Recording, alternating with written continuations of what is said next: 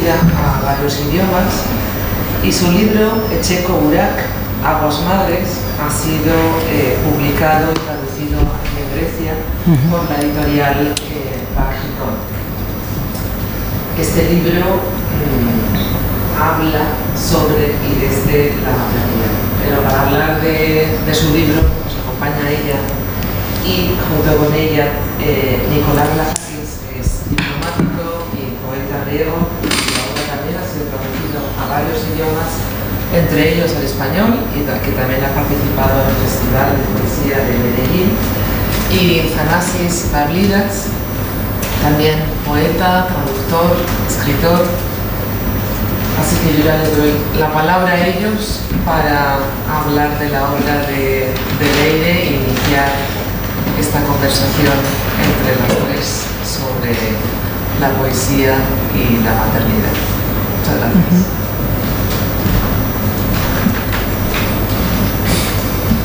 Καλησπέρα σας. Λέιρε Μπιλμπάο, νερά, μάνες. Μόνο τον τίτλο του βιβλίου να ακούσεις, θα αναρωτηθείς ποια πηγή αναβρίζει τέτοιους στίχους.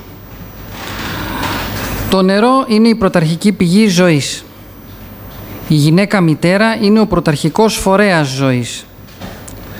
Το νερό σημαίνει διαφάνεια, ροή, ενέργεια. Η γυναίκα μητέρα σημαίνει αμεσότητα, συνέχεια και σύνδεσμος. Εκείνο που ενώνει τα ποίηματα είναι η έντονη αίσθηση ότι η μητρότητα σημαίνει μια υπέρβαση. Ότι το υδάτινο στοιχείο είναι εδώ για να ενώσει τη φωνή του με το γυναικείο σώμα και να μιλήσουν ανοιχτά μαζί για τη νέα ζωή που έρχεται. Η ποίηση της Μπιλμπάου είναι βιωματική και γι' αυτό πέρα για πέρα αυθεντική. Τοποθετεί τον εαυτό της μέσα σε ένα κόσμο που η ίδια έχει επιλέξει να ζήσει και δεν της έχει επιβληθεί. Όπου ο ρόλος της μητέρας δεν έπεται ότι έχει δεδομένα χαρακτηριστικά, αλλά είναι σε αναζήτηση μιας νέας ερμηνείας, όπου η ρευστότητα είναι ένδειξη μετάβασης και όχι αμφιθυμίας. Το πεπρωμένο της γυναικείας ταυτότητος ενώνεται με τον ιστορικό χρόνο, όχι για να του προσδώσει μια συνέχεια που θεωρείται αναμενόμενη, αλλά για να τιμήσει όλες τις γυναίκες που προηγήθηκαν και να μιλήσει για εκείνα που δεν τόλμησαν να πούν. Το γυναικείο σώμα είναι παρόν ως πηγή ζωής που εμπεριέχει τόσο την ειδονή όσο και τον πόνο. Το νερό διατρέχει όλα τα πείματα. Ανοίγει ρογμές, βουλώνει πόρους, υψώνει τη στάθμη του, γίνεται θάλασσα. Εξατμίζεται και εμφανίζεται σαν τη βροχή. Πλένει, ποτίζει, ρέει, πνίγει, αναβλύζει. Οι λέξεις στάζουν αμνιακό υγρό, υδρότα και σάλιο. Είναι χαρακτηριστικό ότι και τα τέσσερα μέρη της συλλογής φέρουν επιγραφές που σχετίζονται με το υδάτινο στοιχείο. Σπάω νερά, σάλιο, παλήρια, νεροχύτης. Στο εισαγωγικό ποίημα συνειδητοποιούμε ότι η μάνα γεννήτορας μπορεί να έχει οποιαδήποτε προέλευση, διότι όπως λέει η ποιήτρια, όλοι γεννιόμαστε από μια μάνα που αγνοούμε. Όμως, έτσι αρχίζει η σχέση μάνας και κόρης. Κτίζεται ξανά εκ βάθρων, καθώς η κόρη με την εγκυμοσύνη και τη γέννα της αντιλαμβάνεται πλέον ξεκάθαρα τη θέση που είχε βρεθεί η μητέρα της όταν τη γέννησε. Στο πρώτο μέρος, το αμνιακό υγρό μοιάζει να εμποτίζει τη σχέση μητέρας και παιδιού με τα συστατικά μιας γνωριμίας όπου μόνο η αίσθηση του ξεχωριστού άλλου θα παράσχει τα θεμέλια μιας υγιής σχέσης, μιας υγιούς σχέσης. Διότι το αμνιακό υγρό θα πάψει κάποτε να είναι ο φιλόξενος τόπος του βρέφους και θα γίνει μια λίμνη που άδειασε. Ένας διάβλος που κυλάω στη θάλασσα ενός νέου κόσμου που έρχεται. Και όπως λέει η ίδια, με ηρεμεί η αποδοχή πως αυτή η προέκταση η δική μου δεν είμαι εγώ και μόνον τότε κολυμπώ ελαφρώς πιο ελεύθερη. Και στο επόμενο ποίημα αναφέρει «Οι δύο είναι πάντα ξένοι, οι μάνες είμαστε τόποι περαστικών». Δεν γνωρίζουμε άλλη ποιήτρια που να αφιέρωσε στίχους σε μια τόσο σημαντική στιγμή στο απόγειο της εγκυμοσύνης, στο λεγόμενο σπάσιμο των νερών. Και όπως τόσο εύγλωτα γράφει η Μπιλμπάο, έσπασα σαν ένα σκεύος έτοιμο να ξεχυλήσει. Και ο γιος της, που είχε ανοίξει έναν χώρο άγνωστο μέσα στη μάνα του, είναι τώρα έτοιμος να βγει στο άγνωστο αυτού του κόσμου, χωρίς τον ομφάλιο λόρο που τον συνδέει μαζί της, χωρίς τους απόμακρους μυστηριώδεις ήχους που τον συνόδευαν μέσα στην κοιλιά της, χωρίς τα δάκρυα, τον υδρότα και τα ορλιαχτά της, όπως τα βίωνε από τον έσω κόσμο της μάνας του. Και η μάνα καλείται να συμβιλιωθεί με το πλάσμα που έφερνε μέσα της, αλλά δεν το έβλεπε, δεν το αγκάλιαζε, δεν το ξεχώριζε από την ύπαρξή της για εννέα μήνες. Πόσο αλόκοτη, πόσο πολύπλοκη, πόσο υπέρχηλη από συναισθήματα λοιπόν φαντάζει η πρώτη φορά που φέρνει πάνω της το νεογέννητο για να το θυλάσει. Στο δεύτερο μέρος, με τον υπότιτλο «Σάλιο», έχουμε έντονη την αίσθηση της αφής και ακόμα περισσότερο της γεύσης. Το μωρό κλαίει και τη ρένει με δάκρυα. Το μωρό θυλάζει και τη γεμίζει με σάλια. Το μωρό ουρεί και τη λερώνει. Παντού είναι παρόν το υγρό στοιχείο.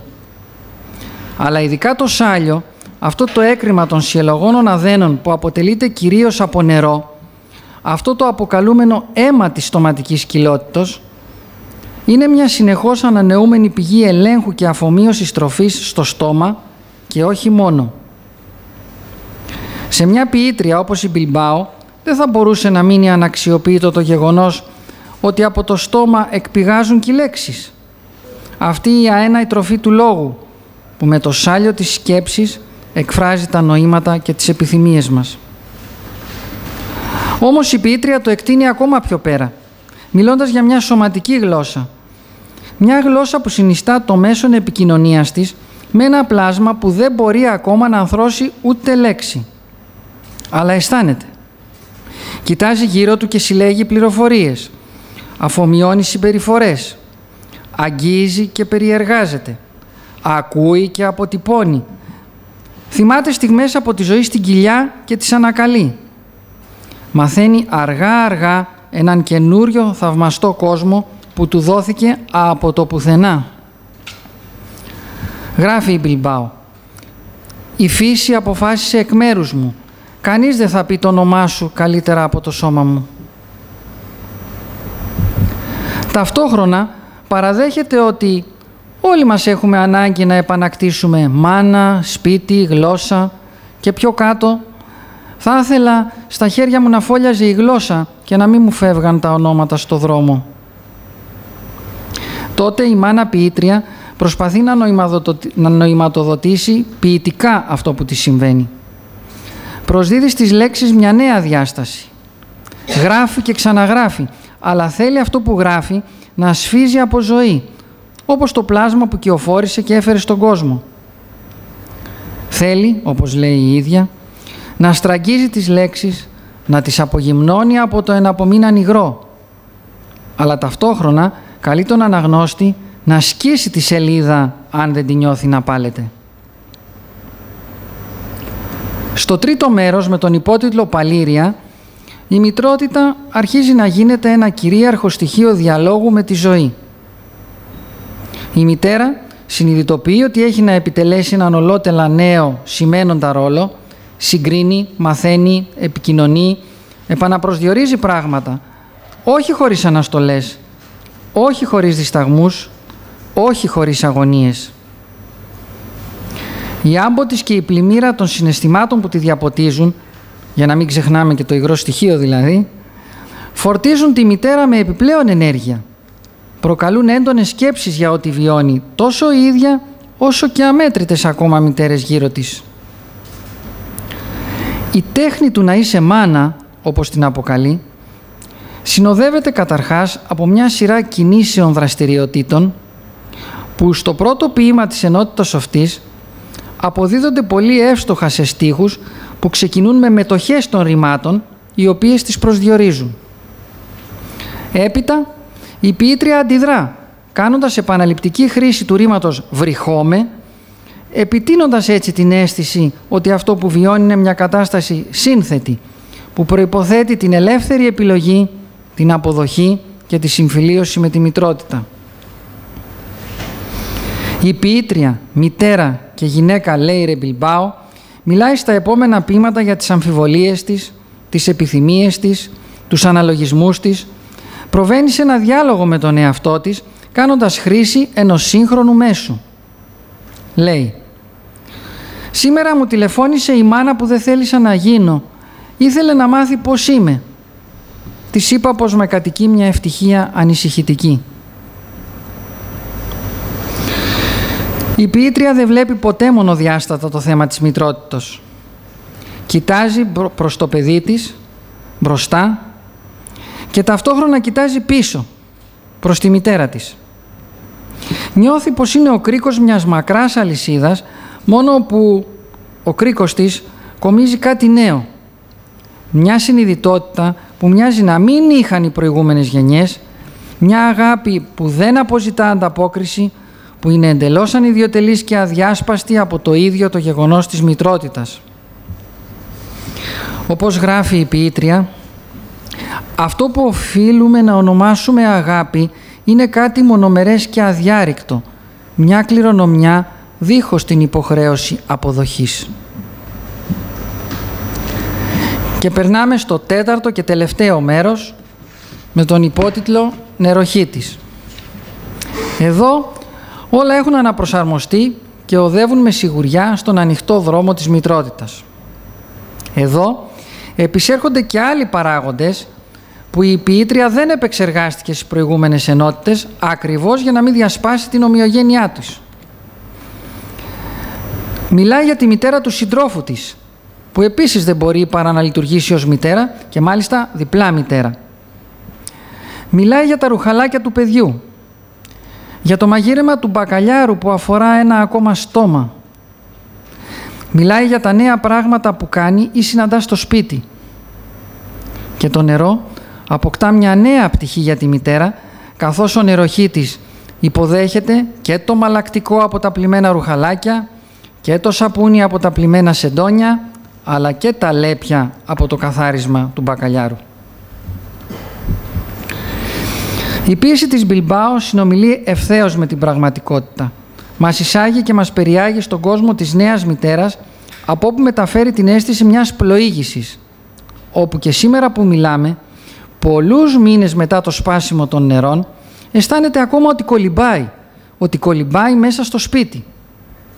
Αλλά διευκρινίζει ότι για να κολυμπήσει κανείς μες στο σπίτι θα πρέπει καταρχήν να έχει ένα σπίτι, να διαθέτει νερά δικά του και πνιγμούς προσωπικούς. Και καταλήγει τονίζοντάς το με κεφαλαία γράμματα. «Δεν θα γίνω όπως η μάνα μου». Από την άλλη πλευρά, ωστόσο, παραδέχεται ότι τα στήθη της από γάλα είναι οι πηγές της γυναικείας ιστορίας. Και κλείνει έτσι το τελευταίο ποίημα με μια έξοχη επιβλητική εικόνα με τη μάνα να ύπταται χαμηλά πάνω από την κούνια του μωρού σαν άγριο ζώο, σαν αετός θα λέγαμε εμείς ή σαν αγριοπερίστερο. Η συλλογή περιέχει 30 ποίηματα. Κανένα δεν φέρει τίτλο και όλα διαθέτουν ευκρινείς στροφές όπου η επανάληψη διαδραματίζει ένα ρόλο που κινητοποιεί και οθεί το κάθε ποίημα προς την ολοκλήρωσή του. Κάποια ποίηματα θα μπορούσαν να παρασταθούν ή και να μελοποιηθούν. Σε κάθε περίπτωση, η ποίηση της Μπιλμπάου έρχεται να μας συναντήσει με εφόδιο την ειλικρίνεια, την αμεσότητα του βιώματος, την πλούσια ανάπτυξη του θεματικού υλικού. Αυτή η περίτεχνη σύνδεση της νέας μητέρας με το υδάτινο στοιχείο αποδεικνύεται τόσο συναρπαστική όσο και αληθινή και δεν μπορεί παρά να παρασύρει εμάς τους αναγνώστες της στο ρεύμα μιας γνήσιας αίσθησης μητρότητας, αγάπης και συνέχειας της ζωής. Την ευχαριστούμε για όλα μας μας έκανε να νιώσουμε. Ευχαριστούμε. Gracias.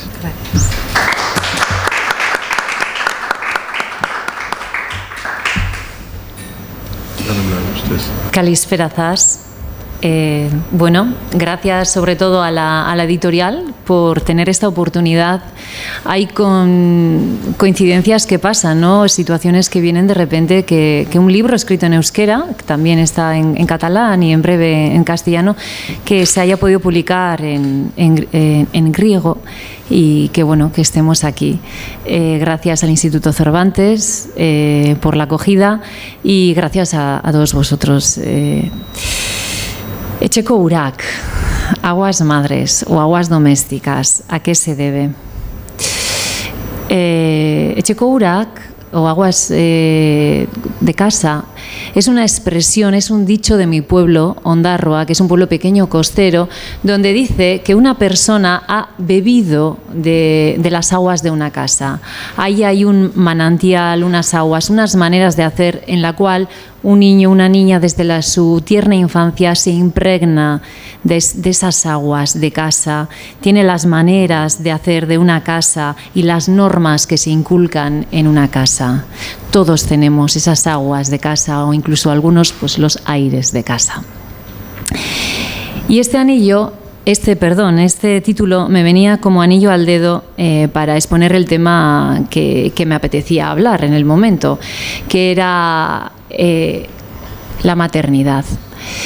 Eh, yo llevo publicando desde el año 2006, tengo algunos libros de poesía, libros de literatura infantil, pero llega un momento en, la vida que una es madre y, decide, bueno, pues compaginar aquello que, más le gusta. Eh, la poesía con lo, aquello que está viviendo. Entonces este libro no es, y digo un no en mayúscula, un libro eh, sobre la maternidad, no, es un libro escrito desde el punto de vista que me dio la maternidad, desde ese nuevo lenguaje que eh, me propinó. Eh, esa nueva mirada o quizás ventana que se abre al ser madre o padre por primera vez. En este libro vais a encontrar una narradora, un yo eh, en primera persona del singular y un yo ficticio que tiene mucho que ver con la, con la autora, pero no siempre.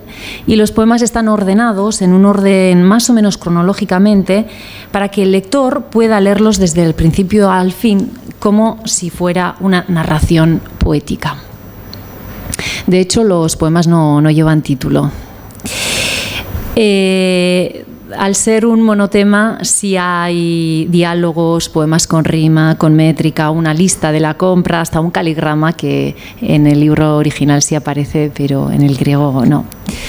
Eh, son 62 poemas en original, son unos 30 publicados, eh, traducidos en, griego, y todos tienen que ver con el agua. Hay cuatro partes en estas aguas madres y la primera es romper aguas. ¿Cómo rompemos aguas? Cuando nace un hijo, ¿verdad? Pero a veces nos olvidamos que cuando nace un hijo también nace una madre. Y de eso habla la primera parte, del nacimiento de una madre. Y no es solamente el niño el que tiene que aprender a andar. La madre también tiene que ir a su ritmo. No es solo el niño el que tiene que aprender a hablar, la madre también. Y esa madre primeriza se le abre todo un mundo por descubrir. Rompen las aguas y nace una madre.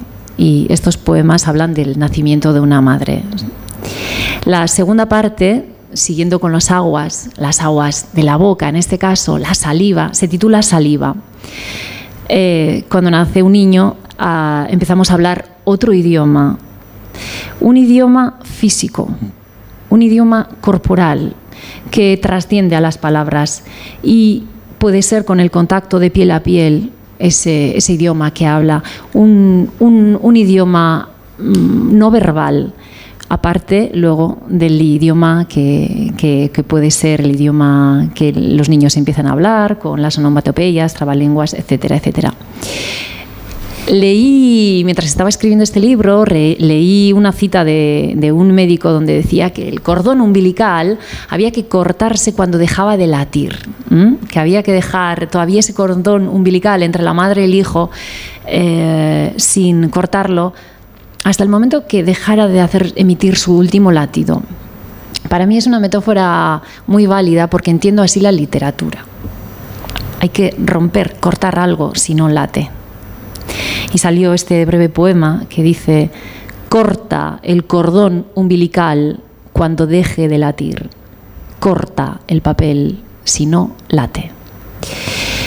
La tercera parte, romper aguas, saliva, y la tercera es marea este yo poético, esta mujer, eh, deja de mirarse tanto al ombligo y empieza a levantar la mirada y mirar, ve otras, otras mujeres, madres, abuelas, bisabuelas, y dialoga con ellas, con las vivas y las muertas. Y, y hace referencias literarias a otras autoras. ¿Cómo ser disidente cuando tu quehacer diario se convierte en conservar la continuidad de la especie y el orden social, aprenderás a decir no a ti misma. Y la cuarta parte se titula Fregadero. Y en esta cuarta parte la narradora pone el foco en los objetos cotidianos, en los objetos domésticos como pueden ser hacer la compra, limpiar la ropa, tender la ropa, planchar la ropa y cambia la relación que la protagonista o narradora tiene con estos objetos. Y aquí, de, alguna manera, aparece el tema de los cuidados. Ella, de haber sido cuidada o incluso preocuparse de sí misma, de ser autosuficiente, pasa a ser cuidadora de otros y ve que estos quehaceres domésticos los maneja desde otro punto de, vista, de, de, otra perspectiva, y los poemas hablan, hablan de eso. Y estas son mis aguas madres o mis aguas de casa, ¿eh? porque la maternidad tiene mucho que ver con, con el agua. Gracias. Muchas gracias.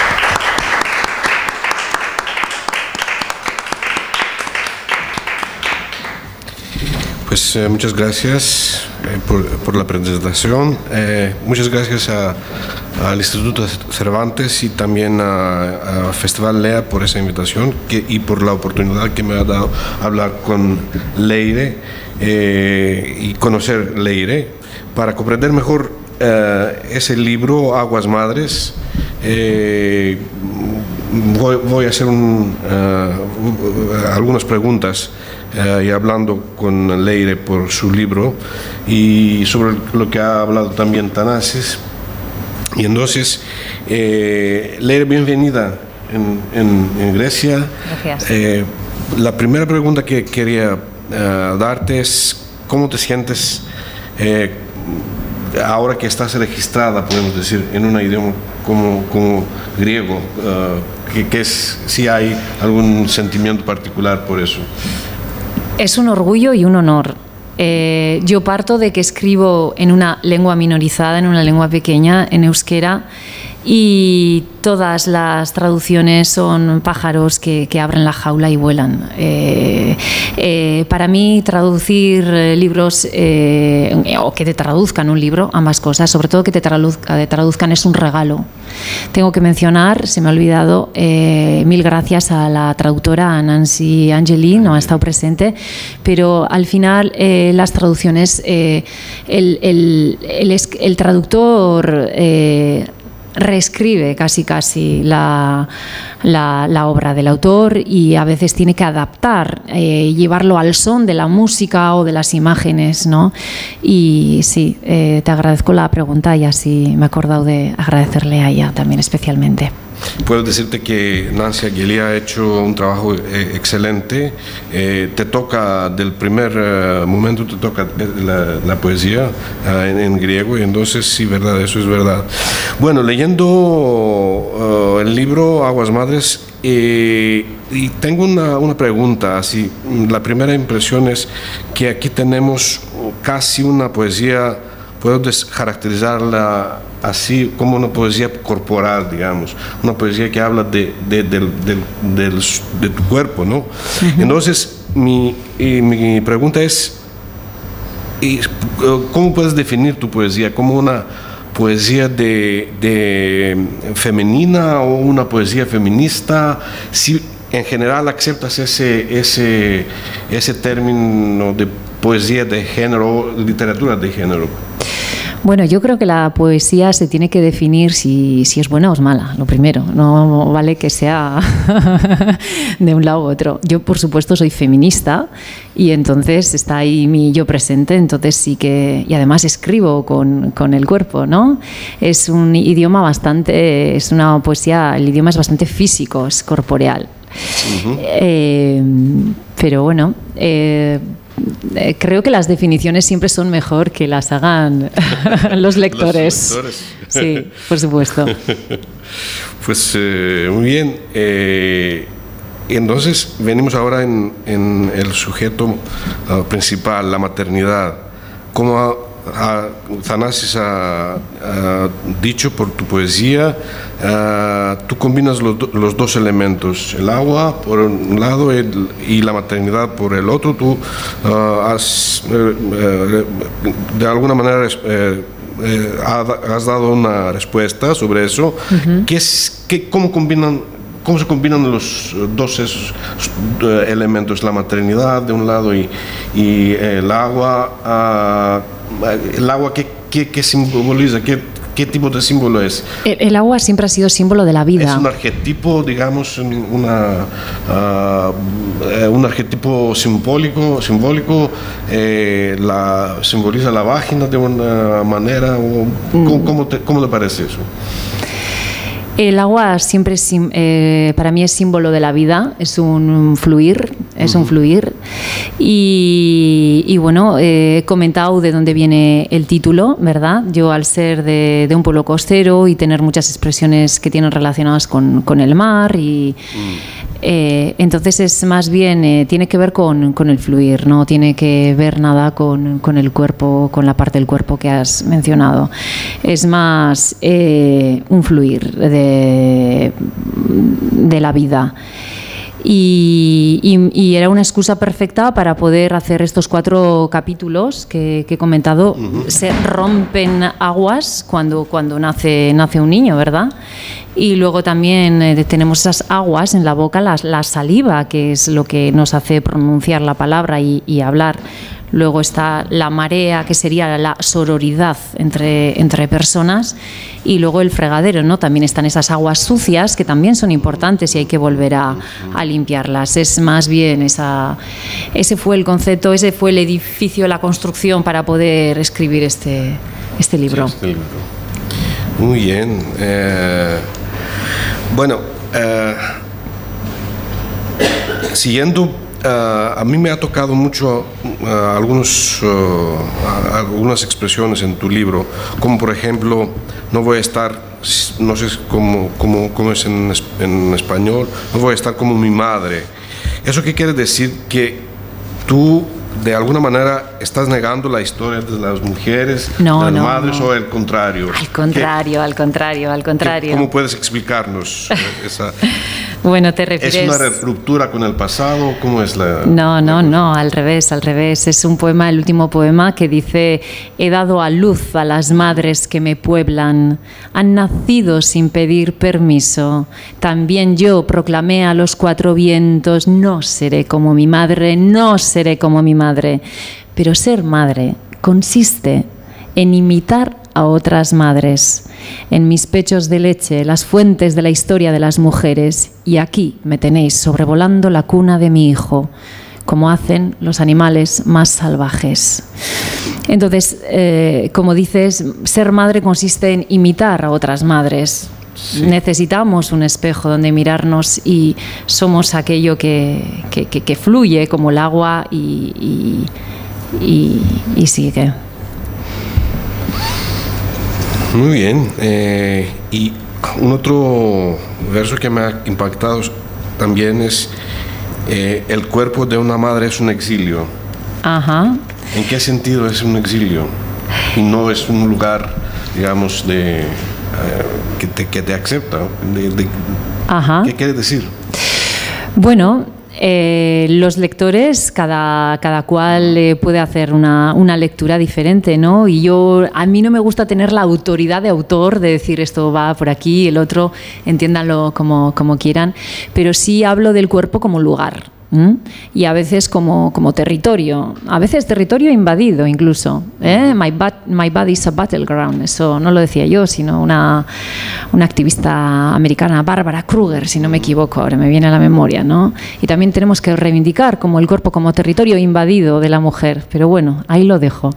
El cuerpo de una mujer puede ser un lugar a veces un lugar eh, eh, de paso y a veces eh, un territorio conquistado. Entonces puede sentir alguien en, en, exilio, ¿no? fuera de, su cuerpo, fuera de su, de su, de su territorio propio. Y reivindico el, la propiedad de una misma, ¿cómo no?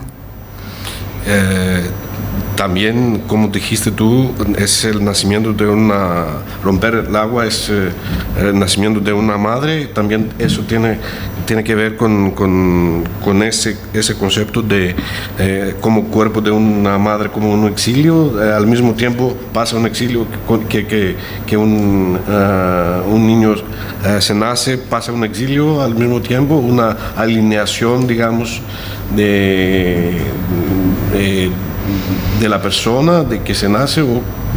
Bueno, hay que, hay que admitir que, bueno, que los niños eh, no son parte de nosotros, son, no son una extensión mía, no, mi hijo no es una extensión mía. Y mm. el hecho de admitirlo también, de decir, bueno, él tiene su personalidad, sea hombre o mujer, y, yo, y yo tengo el mío, ¿no? Entonces, por eso decía un poquito que a veces somos lugares y lugares de paso. Y el exilio tiene eh, más eh, que ver con, con, con los territorios ocupados. Mm. Eh, a mí me, también me ha eh, tocado mucho eh, ese poema Rugido, Rugido ah, con las mujeres que, que, han nacido solas, y etcétera esa, es, ese, ese verbo rugido. Rugir. Rugir, sí. ¿Es la boca de un miedo en tu poesía o de una desesperanza? ¿Cómo lo ibas a presentar? Es un grito. Es un grito. Es un grito. Sí, a veces, bueno, este libro tiene, habla de la felicidad de ser madre, de las alegrías de ser madre, pero también de los insabores y las penas de ser madre, de todo hay en la vida, las alegrías y los insabores. Y a veces todos, madres y padres, padres también, necesitamos rugir, ¿no? sacar el grito que llevamos dentro.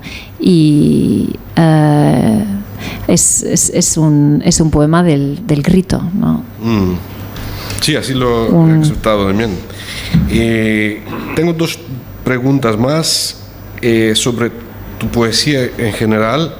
Ah, ese, ese, libro es eh, la tercera colección poética, ¿sí?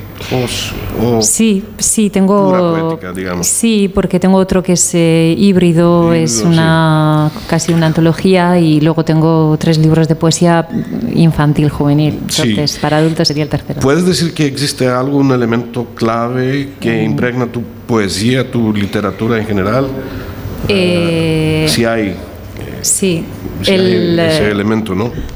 El mar está siempre presente en mí. Mm. Yo soy hija, nieta, sobrina de pescadores, de mm. marineros y tengo una relación con el mar eh, muy personal. Eh, y para mí el mar ha sido el sitio donde mi familia mm. ha trabajado y ha, ido ha tenido que ir a, a trabajar y, traer el sueldo.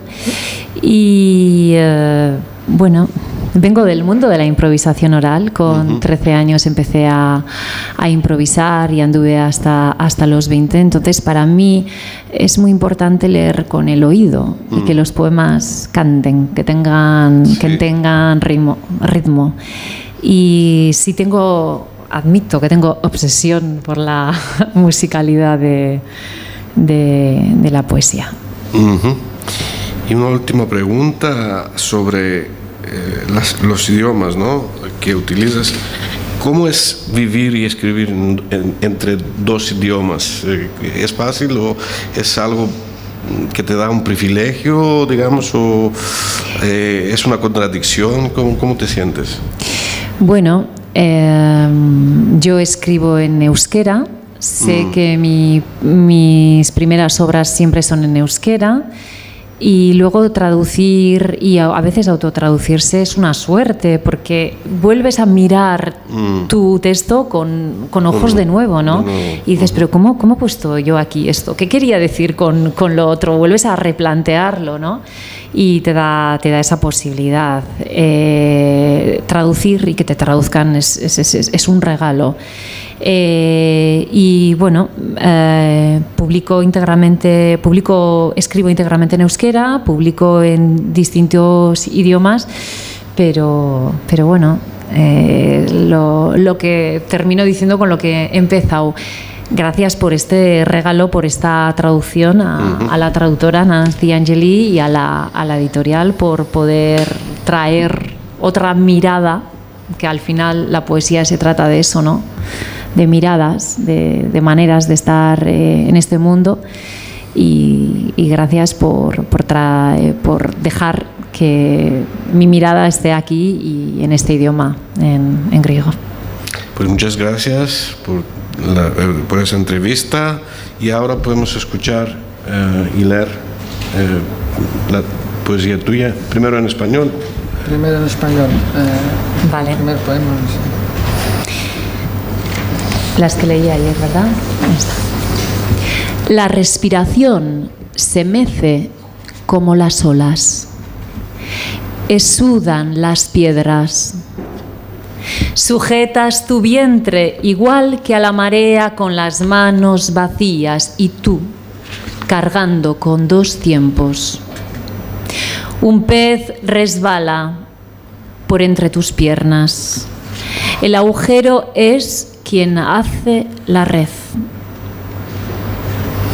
Las puertas siempre son ajenas. Las madres somos lugares de paso. Muy bien. Η αναπνοή λυκνίζεται όπως τα κύματα. Ιδρώνουν οι πέτρες. Κρατάς τη μήτρα σου το ίδιο και την παλήρια με τα χέρια αδιανά. Μαχόμενη κι εσύ σε δύο χρόνους. Ένα ψάρι γλιστράει ανάμεσα από τα πόδια σου. Η τρύπα είναι το δίχτυ. Οι δίωδοι είναι πάντοτε ξένοι. Οι μάνες είμαστε τόποι περαστικών. Me quebré como una va- vasija a punto de rebosar y no paré de anegar la habitación del hospital. Me trajeron una escafandra, bombonas y aletas. Has de aprender a respirar bajo el agua. Guardaba un par de escamas antiguas de cuando niña para no olvidar aquella vez que me lanzaron al agua desde las rocas con un golpecito en la espalda para perderle miedo al mar. Cerré los ojos igual que entonces y al abrirlos un océano nuevo me había engullido. ¿Quién no se estremece al respirar agua?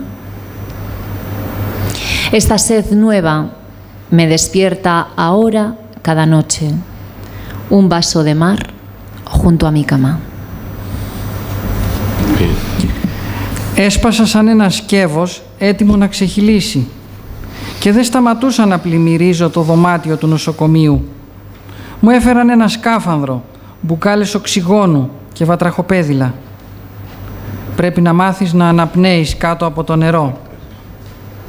Είχα φυλάξει ένα ζευγάρι παλιά λέπια από όταν ήμουν μικρή για να μην ξεχάσω εκείνη την ημέρα που με ρίξανε μες στο νερό από τα βράχια με ένα μικρό χτύπημα στην πλάτη για να πάψω να φοβάμαι τη θάλασσα. Έκλεισα τα μάτια όπως τότε και ανοίγοντάς τα ένας ωκεανός καινούριος με είχε καταπιεί. Ποιος δεν αναρριγά όταν εισπνέει νερό; Αυτή η καινούρια δίψα με ξυπνά τώρα κάθε βράδυ. Ένα ποτήρι θάλασσα στο πλάι του κρεβατιού. La primera vez que di el pecho, nació un haya de mi busto. De mis dedos brotaron abedules, un laurel en mi corazón. Ahora un bosque me atraviesa la columna por el que transitan caminantes y ladrones, murmullos y temores. Mi tronco se viste de nuevos anillos. Este es el círculo donde vivo, el territorio que me circunda. Mis ramas vuelan, mis raíces se despliegan hacia sitios que nunca imaginé. Pero mi tallo sabe que un día será arrancado. Me extiendo y libero, inclinándome hacia la vida, como hace el sauce hacia la tierra. Tu nacimiento bien merecía un árbol. No le temo al hacha. Llueve hojarasca. Την πρώτη φορά που θύλασα, μια οξιά γεννήθηκε στο στήθος μου. Από τα δάχτυλά μου ανέβλησαν σημίδες, μια δάφνη στην καρδιά μου. Τώρα ένα δάσος διαπερνά τη ραχοκοκαλιά μου, όπου κυκλοφορούν ληστές και οδηπόροι, μουρμουριτά και φόβοι. Ο κορμός μου ντύνεται με νέα δαχτυλίδια. Αυτός είναι ο κύκλος με στον οποίο ζω, η επικράτεια που με περιστοιχίζει. Τα κλαριά μου πετούν, οι ρίζες μου απογειώνονται για μέρη που δεν φαντάστηκα ποτέ. Ο μίσχος μου όμως ξέρει πως μια μέρα θα κοπώ. Τεντώνομαι και αποδεσμεύομαι κλείνοντας προς τη ζωή όπως η ιτιά στο χώμα. Η γέννησή σου το άξιζε ένα δέντρο. Δεν το φοβάμαι το τσεκούρι. Βρέχει πεσμένα φύλλα. El aullido de los mamíferos. Bramo. Bramo como el bosque a la noche, oscura y abierta, a causa de esta verdad oculta, desde el volcán de mi sexo, bramo. Con esta fuerza que me empuja a dar, a crear, a liberarme, bramo, mientras maman de estos pechos caídos de cansancio, bramo. Con las mujeres que parieron solas, obligadas a amar hijos no deseados, perras encadenadas a una casa, bramo, y mi maternidad se sedimenta, bramo con todas vosotras que os habéis arrepentido de ser madres, con vosotras que no queréis serlo, que soportáis el peso de los siglos girando como una piedra en vuestro vientre. Bramo, con vosotras que estáis pariendo, con todas a las que en este mundo ansiáis tener un niño, con todas a las que os obligaron al deseo. Ramo, con las que enmudecisteis limpiando en el río durante cientos de años y mudas, os labraron el cuerpo durante cientos de años y mudas, os cosieron la piel durante cientos de años, bramo, cierro y abro la glotis, la cierro y la abro, con esta orquesta que suena dentro de mi boca. Bramo al ver que me he convertido sin darme cuenta, en un mero eslabón. Βρυχόμαι όπως το δάσος τη νύχτα, σκοτεινή και ανοιχτή, εξαιτίας αυτής της κρυφής αλήθειας, μέσα από το ηφαίστειο του φίλου μου. Βρυχόμαι με αυτή τη δύναμη που με σπρώχνει να δοθώ, να δημιουργήσω, να απελευθερωθώ. Βρυχόμαι καθώς βυζένουν αυτά τα στήθη, τα πεσμένα από την κούραση. Βρυχόμαι με τις γυναίκες που γέννησαν μόνες, αναγκασμένες να αγαπήσουν γιους μη ποθητούς, σκύλες δεμένες μέσα σε ένα σπίτι. Βρυχόμαι όσο η μητρότητά μου οριστικοποιείται. Βρυχόμαι με όλους εσάς που μετανιώσατε που είστε μάνες, με εσάς που δεν θελήσατε ποτέ τέτοιες να γίνετε υπομένοντας το βάρος αιώνων να περιστρέφετε σαν πέτρα μες στη μήτρα σας. Βρυχόμαι με όλες όσες αυτόν τον κόσμο ποθείτε ένα παιδί, με όλες όσες τον πόθο σας εξανάγκασαν. Βρυχόμαι με σας που φημωθήκατε για εκατοντάδες χρόνια, πλένοντας το ποτάμι και καλλιεργώντας τα σώματά σας για εκατοντάδες χρόνια και ράβοντας τα δέρματά σας για εκατοντάδες χρόνια. Βρυχόμαι, κλείνω και ανοίγω την επιγλωτίδα, την κλείνω και την ανοίγω, όπως αυτή η ορχήστρα που αντυχεί μες στο στόμα μου. Βρυχόμαι, βλέποντας πως μετατράπηκα σε έναν ακόμα κρίκο που βαστά αυτή την αλυσίδα.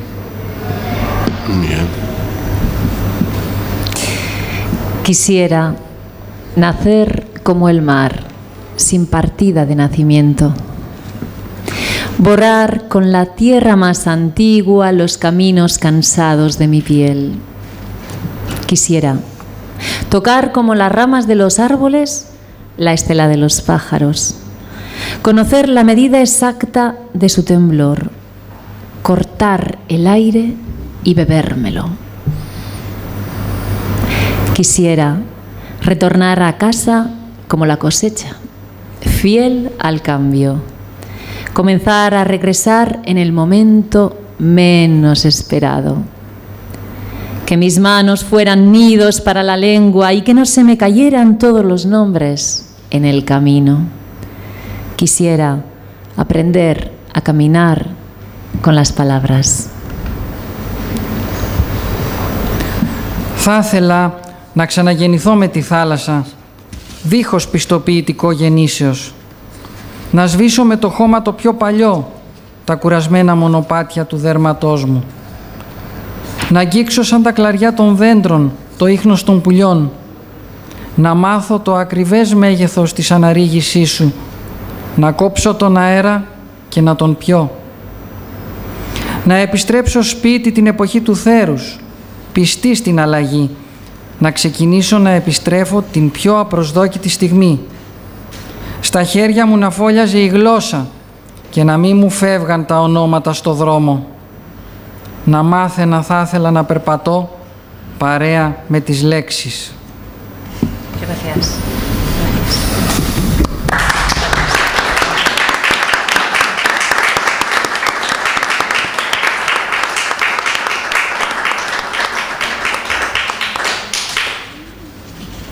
¿Puedo, con tu permiso, puedo leer yo también un último que me... Ένα τελευταίο. Στα ελληνικά. Eh, me voy a leer un fragmento simplemente. El cuerpo de una madre es un exilio. Que... Ah. Το σώμα μιας μάνας είναι εξορία, άγνωστη χώρα, καμπία ταξίας, πληγωμένος τόπος, ανοιγμένος, διαμελισμένος, όμοιρος μιας αγάπης απαιτητικής, σάρκα αγαπημένη, μολοπισμένη, ωρεογνωσία θρηματισμένη. Είναι οι ρίζες του από πέτρα, ασβεστόλιθος, βασάλτης, σχιστόλιθος. Είναι τα δέντρα του από νερό, οι ζήματα σε επιφάνεια. Είναι ένα βιβλίο γεωλογίας που πάνω του έχει γραμμένα αναφιλητά, υδρότα, ουρλιαχτά. Είναι μια επικράτεια που κατοικούν παλμοί, πρόγονοι της γλώσσας, με κατοικεί εξορία. Gracias. Gracias. Eh, ese trozo dice, el cuerpo de una madre es un territorio donde habitan latidos previos al lenguaje. Me habita el destierro.